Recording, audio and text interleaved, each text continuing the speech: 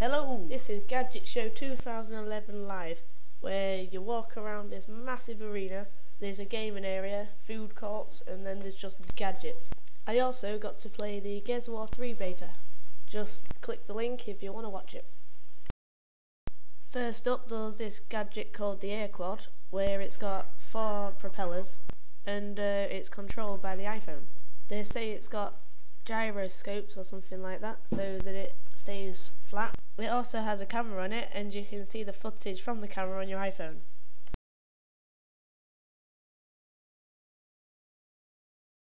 There was this random Angry Birds game where you have to throw the Angry Birds at the pigs and you can win your very own Angry Bird.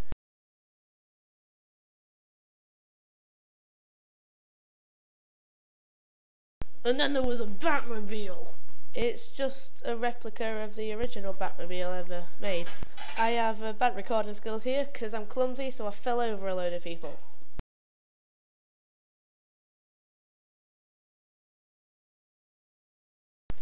Uh, we stopped off for lunch at Subway, overpriced Subway that.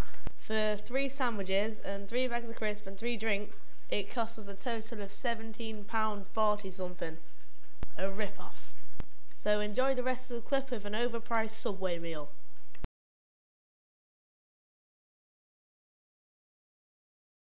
At the end of the day, there was the Gadget Show live performance. Uh, we were closer than it looks, but because I was recording on my phone and my phone can't zoom when it's recording videos, it looks really far away. It was just like the show on the telly where you have some challenges and they're showing you new gadgets. It's quite cool. And that's it for the Gadget Show Live. Please don't forget to like and subscribe. Thanks for watching.